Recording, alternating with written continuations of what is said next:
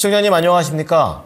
네, 안녕하세요. 너무, 너무 반갑습니다. 너무 반갑습니다. 예, 네. 전화 주셔서 감사드리고요. 네. 네, 너무나 마음이 두렵거든요. 두려우세요? 그래요? 아, 그래요? 어, 어, 도대체 어떤 종목일까? 그러게. 종목이 뭐예요? 카카오요. 카카오. 어, 이거 얼마에 얼마에 갖고 계신 거예요? 사 들어가신 거예요, 이번에? 59,500원이요. 오늘이요?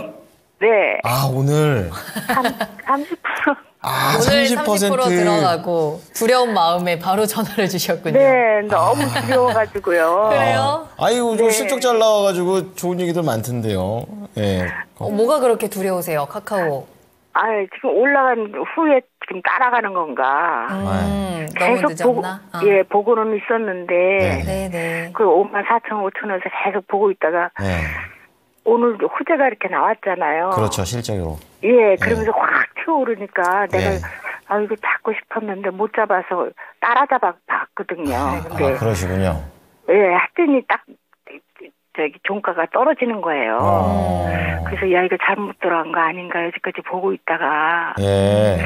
안 그래도 예, 네. 우리 시청자님이 이렇게 궁금해하시는 분들이 많아가지고 오늘 오전에도 이제 카카오랑 네이버 비교하면서 얘기를 좀 많이 해드렸었는데 네. 예, 이거 관련해가지고 과연 따라간 건가 아, 좀 네.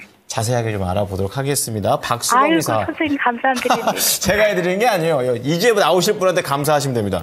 박수경 네. 이사께 한번 진단 받아보시죠. 네 감사합니다. 말씀해 주십시오. 네. 네, 이사님. 아, 네, 반갑습니다. 네. 네 감사합니다. 네. 자, 카카오를 지금 현재 매수하셨는데, 오늘 같은 경우에는 실질적으로 좀 개인 투자자분들은 어느 정도 좀 차익 매도를 하시거나, 어, 매도에 관점을 좀 두셨는데, 오히려 지금 기관과 외국인들의 매수세가 상당히 좀 강하게 잘 들어가는 흐름들이었습니다.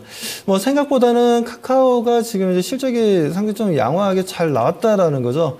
그동안 이제 뭐, 뭐, 여러 가지 리스크가 좀, 오너 리스크가 좀 발생했던 부분들도 있었고, 그동안 또 카카오가 어떻게 보면 좀 3만 원대까지 내려가는 뭐 최악의 순간도 좀 맞이하는 수- 음, 부분도 있었는데 뭐 다시 한번 좀 주가 움직임을 좀 보여주고 있어서 뭐 저는 좀 다행이라고 생각하고요. 그동안 또 그리고 카카오 같은 경우 마음고생 많이 했죠. 그동안 뭐 좀 쪼개기 상장이 아니냐 하면서 어 좀 비판적인 시각도 많이 좀 받았던 정보이기도 했었고 뭐 그리고 지금 최근에 보게 되면 뭐 테무를 비롯해서 알리익스프레스와 같은 이제 이커머스 쪽에 지금 현재 좀 비상이 걸린 상태죠. 너무 싸게 판매를 하고 있다 보니까 어 그런 흐름들을 좀 보여주고 있는데 혹시 사회자분들도 혹시 뭐 테무나 뭐 알리익스프레스 사용해 보신 적 있으신가요? 저는 애가 이제 그 레고 이런 거 좋아해가지고 아, 그렇구나. 그거를 이제 정품으로 사려면 너무 도움이 많이 들어서 네네. 네, 다른 아- 애 아버지가 그랬어요. 테무 쪽에서 사보면 비슷한 네. 거좀 싸게 살 수 있다 그래가지고 사봤는데 어, 생각보다 쓰기도 편하고 예, 그랬던 아, 기억이. 있어요. 예. 어, 알리의 아, 신기한 얼마나 거 얼마나 저렴하던가요?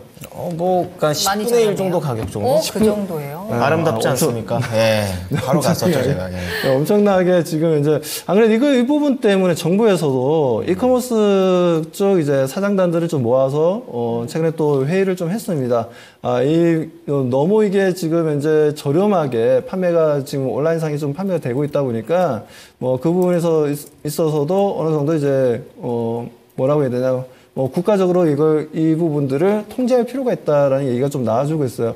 아, 그렇지 않으면 국내 이제 유통업체들이 상당히 좀 어려움을 겪을 수밖에 없고 이 문제는 우리나라뿐만 아니라 지금 미국도 난리입니다. 미국에서도 지금 현재 뭐 알리익스프레스와 테무가 워낙 지금 인기가 좋다 보니까 뭐 그 부분에서도 지금 현재 제재를 가야 된다. 어, 뭐 관세를 관세를 어떻게 뭐 하든 뭐 어- 어떤 식으로든 제재를 해야 된다라는 얘기가 좀 나와주고 있는데 아무튼 뭐 카카오가 지금 이제 실적 때문에 좀 올라오는 흐름들에 있어서 뭐 이런 부분들 뭐 정치적인 어떤 좀 좋은 시그널이 좀 나와주지 않겠냐라는 어 좀 저는 또 생각을 좀 하고 있고요. 뭐 그렇다면 오늘 좀 거래량도 형성이 잘 되었고 외국인과 기관들 수급 움직임도 좋았기 때문에 아, 물론 지금 오늘 좀 급등을 하다 보니 뭐 일부 차익 매도 물량이 개인 쪽에서 많이 좀 나오긴 했습니다만 어 그래도 다시 한 번 더 지금 현재 전 고점인 1월 달 전 고점인 6만 원을 좀 돌파해서 추가적인 상승 흐름을 추세적인 상승 흐름을 좀 기대해도 저는 좋다라고 좀 판단을 하고 있습니다. 그렇기 때문에 카카오에 대해서는 이제는 좀 편안하게 좀 보셨으면 좋겠어요. 편안하게 좀 보시고, 아, 물론 저는 뭐 카카오도 좋고 네이버도 좀 좋다라고 좀 판단하고 있는데, 아무튼 카카오가 지금 이제 여러 가지 사업 포트폴리오를 가지고 있고, 뭐 그리고 기업들 또한 지금 현재 뭐 계열사마다라도 이제 100개가 넘어가죠.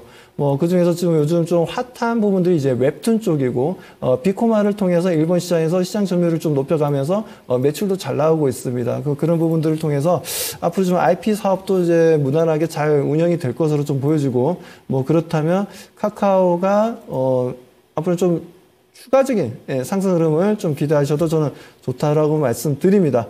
자 그렇다면 좀 목표가를 단기 목표가를 좀 말씀드리자면 일단 저는 음, 아무 생각 없이 예, 그냥 생각하지 마세요. 그냥 나는 내가 없다. 난 생각할 줄 몰라 이렇게 생각하시면서 무조건 7만 원까지는 무조건 들고 가세요 일단은. 예, 7만 원까지는 무조건 그냥 들어가시고 예, 그 이후에 나오는 여러 가지 뭐 호재도 나올 거고 악재도 나올 거고 여러 가지 변동폭을 좀 보여줄 것으로 좀 보고 있기 때문에 뭐 일단 좀 7만 원까지의 무난한 상승을 좀 기대하셔도 좋다라고 말씀드립니다. 네.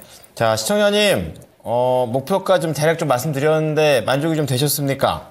내 마음이 이제 조금 안정이 되고 오늘 잠을 잘 것 같아요. 그러니까 좋은 꿈 꾸시겠어요. 예. 네, 감사드립니다. 그 네. 사놓고 얼마나 발- 가슴이 떨렸는지. 네. 선생님 아, 말씀 듣고 오늘 편안히 잠을 자겠습니다. 너무 감사드립니다. 네.